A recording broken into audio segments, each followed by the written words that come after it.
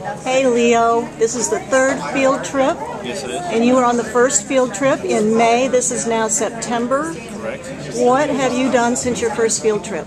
Since our first field trip, I was able to acquire one property down here in Bakersfield.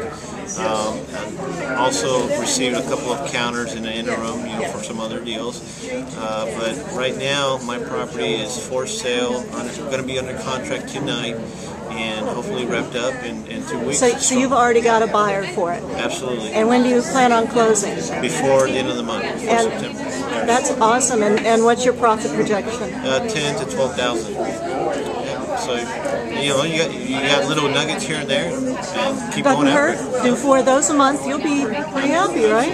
Yeah. Absolutely. Thanks a lot. Thank you.